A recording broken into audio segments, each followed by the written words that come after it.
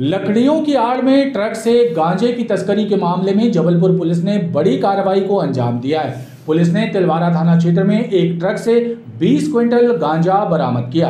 Police द्वारा बरामद किए गए गांजे की कीमत चार करोड़ रुपए से ज़्यादा बताई जा रही है।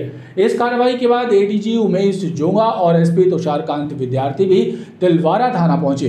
पुलिस अधिकारियों ने बताया कि गांजे की ये बड़ी खेप छत्तीसगढ़ जगदलपुर के रास्ते जबलपुर से हरियाणा ले जाए जाने की बात सामने आई है।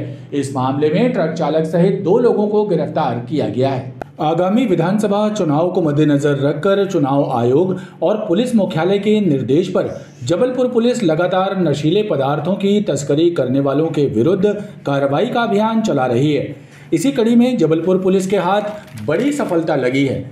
तिलवारा थाना क्षेत्र में पुलिस ने एक ट्रक को जब्त कर ट्रक के केबिन और ट्रक में लोड नीलगिरी की लकड़ियों की आड़ में छिपाकर रखा गया, करीब 20 क्विंटल गांजा बरामद किया है। इस गांजे की कीमत चार करोड़ रुपए से ज़्यादा बताई जा रही है।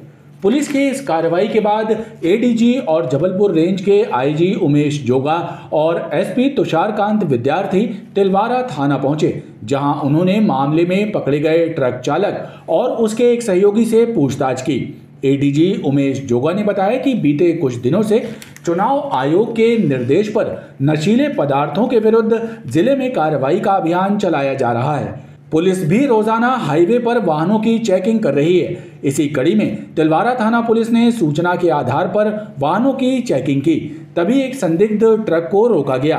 तब ट्रक चालक भागने लगा।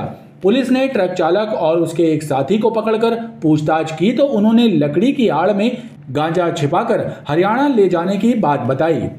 तो एक ट्रक जो संदिग्ध दिखी थी, उस संदिग्ध ट्रक को रोक के उन लोगों ने देखा।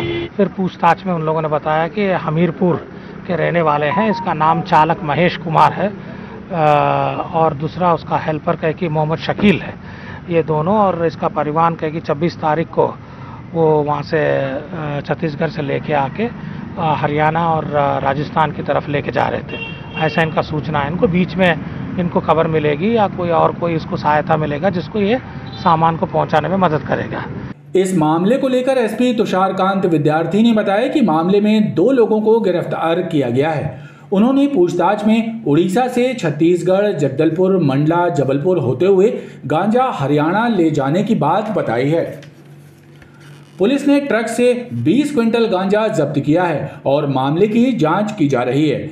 गांजे की तस्करी में और कौन लोग शामिल हैं, इसका पता लगाकर उनके विरुद्ध भी कार्रवाई की जाएगी। ये जो गांजा है ये उमरकोट उड़ीसा से लोड हुआ था। और लकड़ी के छिपा के इसको यहाँ पर ट्रांसपोर्ट करके हरियाणा क्षेत्र में ले जाया जा रहा था कंज्यूम करने के लिए। तो एक बड़ी तस्करी हो रही थी जिसको जबलपुर पुलिस की सतर्कता करते रोका गया और पकड़ा गया कितने लोगों को पकड़ा होगा इसमें मोहम्मद शकील करके व्यक्ति का नाम आया है जो इस व्यक्ति को ट्रांसपोर्ट करके ले जा रहा था। और इसमें जो ड्राइवर है वो महेश है। ये दोनों हमीरपुर ज़िले के रहने वाले हैं।